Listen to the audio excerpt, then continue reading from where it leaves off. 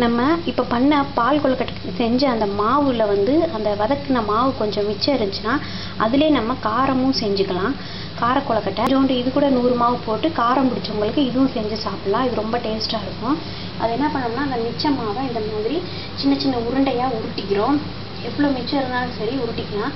இப்போ இந்த கொலக்கட்டைக்குன்னு போடுறது இல்லை. இடியாப்பம் போட்டாலும் சரி இல்லை நாளைக்கு வேறு விநாயகர் சதுர்த்திக்கு கொலக்கட்டை போட்டு மிச்சம் கொஞ்சம் மாவு இருந்தால் இந்த மாதிரி செஞ்சுக்கலாம்.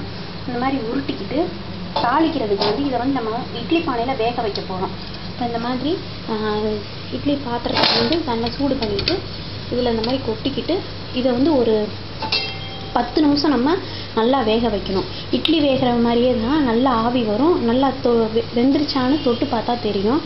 அமைக்கி பார்த்தா அது நல்லா வெந்திருக்கும். மாவா இல்லாமல் சாஃப்டாக வெந்திருக்கும். அப்புறம் வந்து அது வெந்ததுக்கப்புறம் தாளிக்கிறதுக்கு வந்து கடுகு கடுகு உளுந்து. இதுக்கு வந்து உளுந்து உளுந்து கடுகு உளுந்து நல்லா போட்டால் நல்லா இருக்கும் தாளிக்கிறதுக்கு. அப்புறம் வந்து தாளி அப்புறம் வந்து க வத்தல் கருவேப்பிலை. வத்தல் வந்து இந்த மாதிரி சின்ன சின்னதாக கட் பண்ணிக்கிறோம். இதில் வந்து அந்த வத்தலோட காரம் தான். வேறு எதுவும் போட போகிறதில்ல அதனால் வத்தல் நல்லா போட்டுக்கலாம்.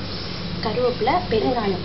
பெருங்காயம் போட்டு நம்ம அது வெந்ததுக்கப்புறம் நம்ம தாளிக்க போகிறோம் அஞ்சு நிமிஷத்துலேயே நல்லா சாஃப்டாக வெந்துருச்சு. நல்லா ஆவி வந்து வெந்துருச்சு. ஏற்கனவே வதக்கின மாவுனால் சீக்கிரமே வெந்துடும் இப்போ வந்து நம்ம தாளிக்க போகிறோம் இப்போ நம்ம தாளிக்கிறதுக்கு அரை டீஸ்பூன் எண்ணெய் ஊற்றி கடுகு உளுந்து போட்டுக்கிறோம். அரை டீஸ்பூன் போதும்.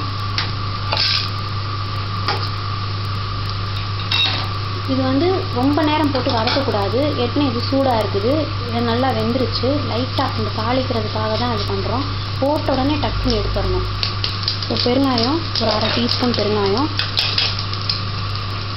வத்தல் கருவேப்பிலை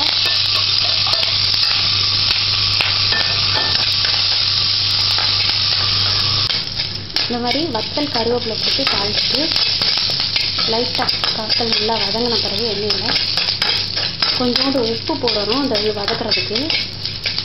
ஏன்னா நம்ம இனிப்பு கொழுக்கட்டையில் வந்து நம்ம அரை உப்பு போட்டு தான் ஆட்டியிருக்கிறோம். இது காரத்துக்குனால கொஞ்சம் உப்பு போட்டுக்கலாம். இப்போ நம்ம எடுத்து வச்சா அந்த கொலக்கட்டை வேக வச்ச கொழுக்கட்டையை போட்டு கிண்டுறோம் லைட்டாக உப்பு போட்டு வதக்கி ஒரு அப்படியே ஒரு நிமிஷம் தான் வதக்கணும்னா நல்லா எடுத்துடுறோம் அந்த தாளிப்பெல்லாம் அதில் இது ஆனோடனே எடுத்துடுறோம் இல்லைன்னா ரொம்ப இறுகிடும் அவ்வளோதான் அப்போ ஆஃப் பண்ணிட்டோம் நம்ம ஸ்டவ்வை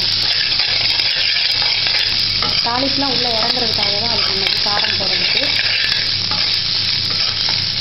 இப்போ நம்ம காரமணி மணி ரெடி